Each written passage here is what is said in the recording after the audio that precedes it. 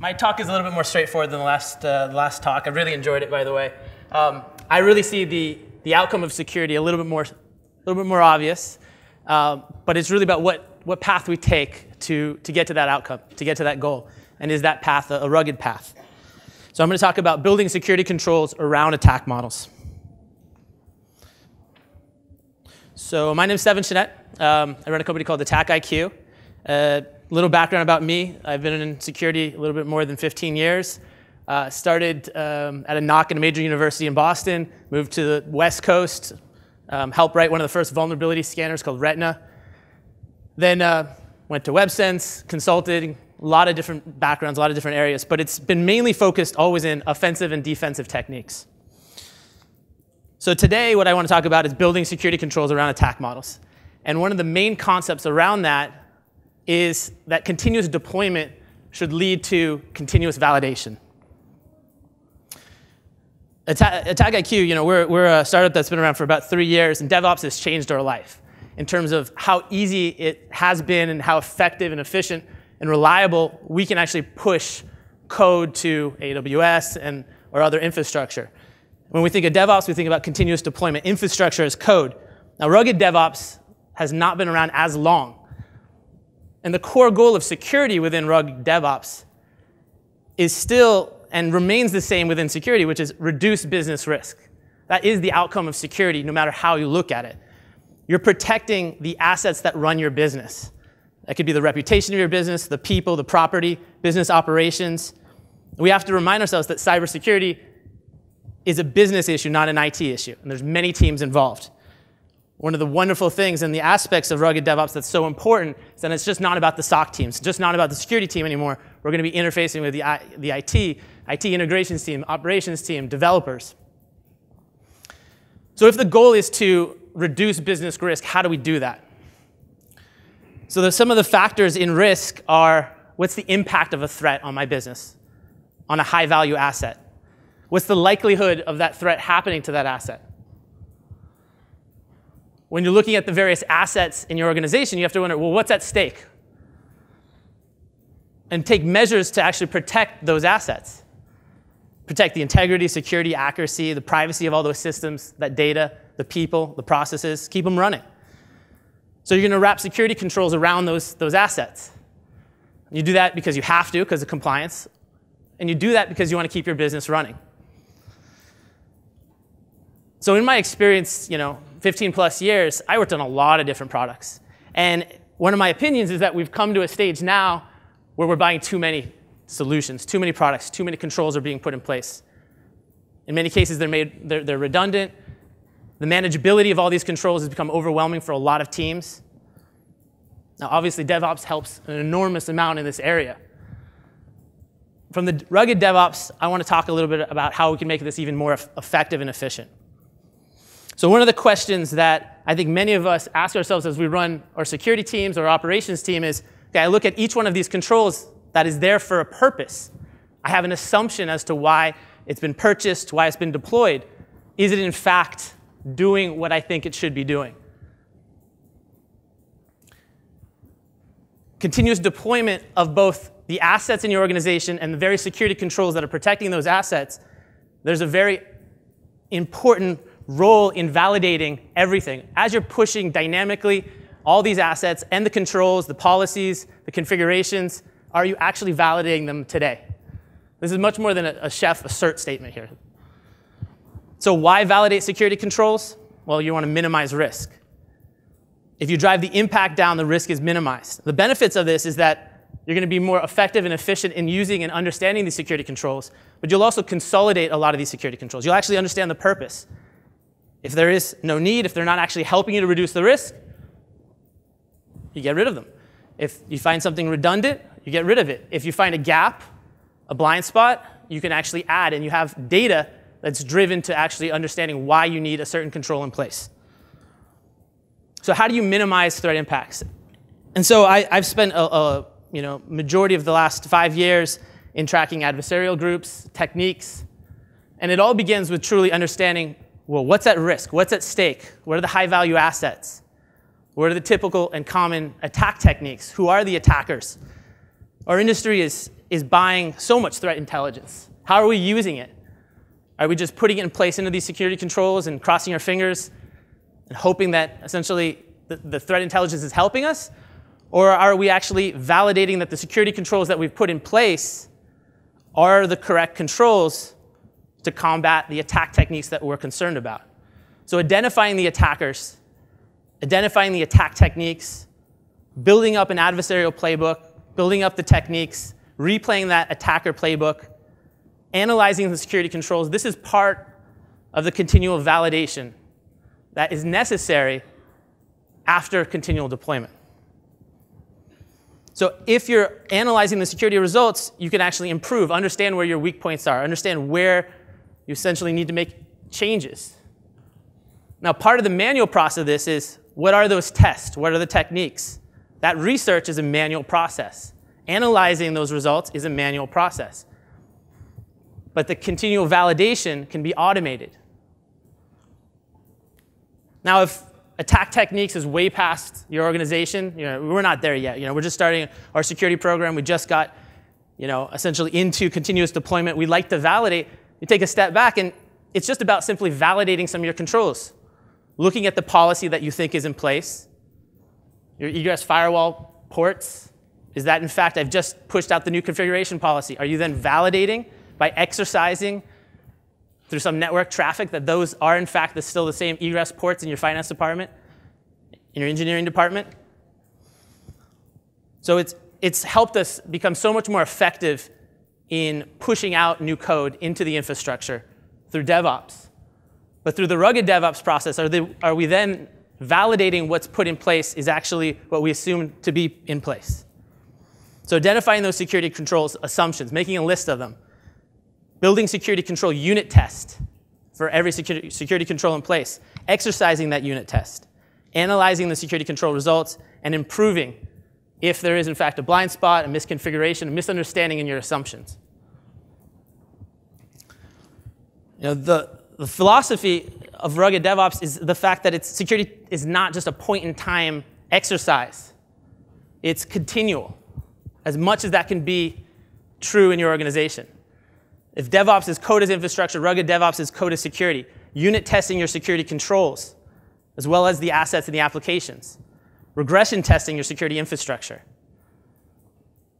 If you look at an attack that you're concerned about, and it's got multiple stages, you start to understand the attack techniques. It's very important so that you can test each line of your defense in depth strategy and each security control in place. So the key focus in, in attack modeling is prioritizing some of the high risk assets in your organization. Prioritizing the adversarial objectives, the motives. Most orgs are, are spending a lot of money on threat intelligence. Are you making the most out of that threat intelligence? How are you understanding, even if you're compromised and you put mitigation strategies in place and more security controls, what did you learn? What were those lessons?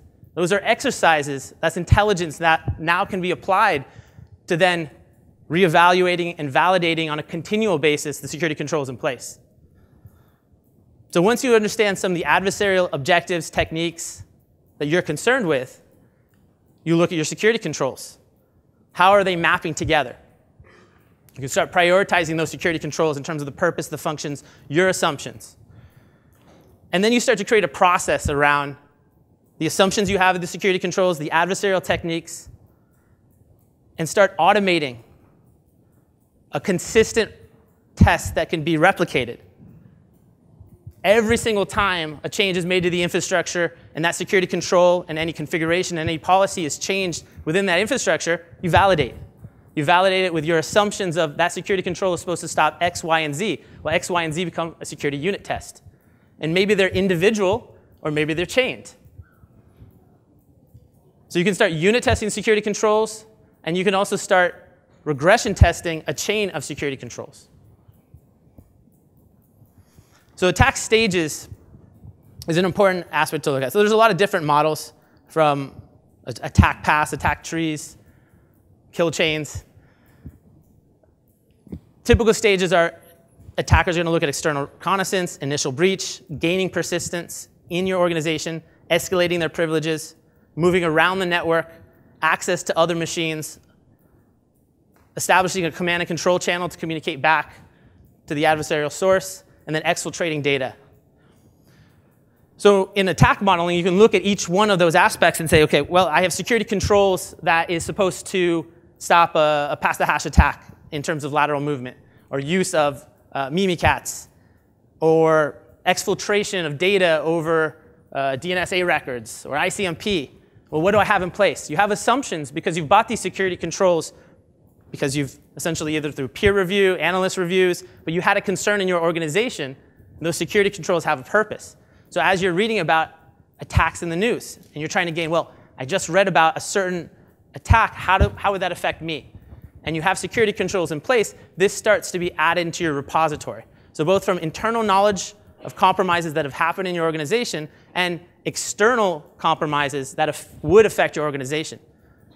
If you're a small CPA firm, you might not care about what's happening to a, a, gaming company down the road and the attackers and the techniques that are be, being used. But as you gain more intelligence and understand some of the attack techniques and the models, you can start to apply those into unit tests that test your security controls. So the goal is to duplicate real attack techniques and tactics in an automated fashion and automatically test every expectation that you have to a fair degree against that asset or the security control that's wrapped around that asset as it's deployed. So here's a, an example. So the target breach. So you can look at stages, the initial breach, privilege escalation, persistence, access to other data storage as exfil, and you can start to break down what happened. So this might be a concern, might not be a concern. For every, you know, everyone's got their Sony breach or their target breach for their own industry that they look at as an example going, we got to buy this software because, well, this happened to this other org. So the initial breach, it might be a, you know, a specific malware that was actually downloaded to a POS machine. There might be specific techniques that were used. So you break down a lot of the techniques. And a lot of this is open source intelligence gathering. If I'm not actually buying threat intel directly. And as you go through each one of the techniques, you start to understand, well, what's my detection capability? What's my prevention capability? Prevention might be a binary yes or no. I prevented it, I didn't. Detection might be a timely answer. Well, I detected it, but how long did it take to get noticed? And as you actually go through each of the controls that you have, you're looking at each of the attacker techniques and saying, okay, well, the installations of Citadel, well, we had, a, we had Symantec. We had some type of AV solution. We never noticed the actual PHP web shell being installed. The use of PA or PS exec, that was st stopped by some adversarial uh, advanced endpoint. The notion of uh, an attacker sending files at 2 a.m. in the morning over FTP to uh, you know, a server that was outside of the US. For our organization, well, that was different, so some type of behavioral analytics. So you look at actually what you have in terms of the technology that's in place for that security control. You look at the attack techniques, and you start to create these playbooks. These playbooks that can be replayed on an automated basis. And each one of these controls, as they're deployed, as changes are made, as configuration changes are made, as policies are changed, you can start to run through these playbooks and try to test each one, either through a unit test or a full regression test. So in this modeling exercise, installation of a web shell on a network, lateral movement, you know, pass the hash techniques are used in about 80% of, uh, of, of, of most successful breaches as an attacker will move throughout a Windows environment, and then use of some kind of customized version of Mimikatz. So if that's the case, why aren't you testing your organization against that? Now this is way past just pure pen testing. This is looking at the security controls that you have in place and saying, well, how am I going to test those security controls? What are those, what's the capability of those security controls? Has that changed as I've done any kind of continual deployment? Has something changed in my environment? In one of my past uh, consulting engagements uh, before AttackIQ, I was essentially given a security control that was helping to protect and detect against Android malware. So sure, I could have looked at that technology and said, well, how can I find you know, some cross-site scripting in it, or if they're doing any you know, unencrypted communications out, and what can I gain? Can I find the key? But instead, what I'm looking at is the capabilities. So then I went through and I spent about six months and analyzed a lot of Android malware and said, okay, what are the capabilities of the attack techniques with this Android malware? Is it real simple? At what level are these attacks happening? And I truly understood the attack techniques. And then I went back to this defensive technology and I said, well, let's look at the capabilities of this defensive technology. Now, that was a very static exercise. I had a few months to do it, but in a dynamic environment where you're continuously deploying and you have these assumptions about those security controls and their capabilities, and then you have your concerns as to why those security controls are in place, are you testing those concerns? And are you testing them on a continual basis? So this really goes into a, defense in depth metrics. I, I think that one of the huge things that can be gained by continuously validating after and, and, integrating into the process of continuous deployment is that you start to identify percentage failures, percentage detection, percentage prevention. And you can start to look at historical metrics and start to identify are you doing better? Are you doing worse? Is that control changing in some way? Is our ability or capability of actually defending against the attacks that we're concerned with changing? So this is an old proverb, uh, trust and verify. So trust but verify. So validate your security controls. So the SOC team is working with the dev teams, is working with the ops IT integrations team. They are all playing a part in this. The IT integrations team might be continuously pushing out new technology. The SOC team is constantly testing that technology. And there might be, you know, different portions of that red, you know, pure pen testers, red teamers, different portions of the SOC team that's doing that. Incident responders are actually, you know, getting the alerts from those different controls. Developers are pushing applications that are wrapped around those controls. I think most organizations are doing a very manual job right now of unit testing their security controls or their regression controls, or they're focused on the applications but not the security controls. The security controls in your potential lack of understanding the capability of those security controls is a huge weakness. And we have a huge opportunity in the rugged DevOps moment, uh, movement to, to change that. So running routine attack models automatically as your apps, as your security controls are being deployed, identifying the gaps, identifying the blind spots, will allow you to potentially understand, did I have the right control in place? What are the weaknesses in that control? Versus what are your assumptions about the attack techniques? It doesn't take much time. It can be done at a very minimal level. It allows you to have data at the end of the day that, given your potential or you know, improvement or, or lack thereof of your detection or prevention capability. You build repositories of attacks. Most orgs are actually paying attention to what's happening within the other companies that are being compromised. Build that into your repository. It'll allow you to see historical improvements and say, well, yeah, that, that technology, that control that we did put in place, that actually helped us, or it didn't help us at all. Because all of these controls mean that we have to manage more controls, more technologies. And we want to consolidate that. We want to run a very effective, efficient security control program so that when we're having conversations with the different business units, we're not worried about thousands of useless alerts, potential compromises that never happen. We actually have a very consolidated program. We understand the security controls, their capabilities, we understand the attack techniques, and we can communicate it effectively. So where to start is getting the IT, ops, SOC, dev, management team involved. Build a threat intelligence attack repository. Move to using attack modeling to testing your security controls. Integrate this into your continual deployment. There's a lot of technologies to help you do this. And communicate the output clearly to show the improvements. It's actually an improvement that you found a gap. Because you're not essentially saying, well, we need this technology for this control because subjectively I feel that this would be helpful. You have data to back that up.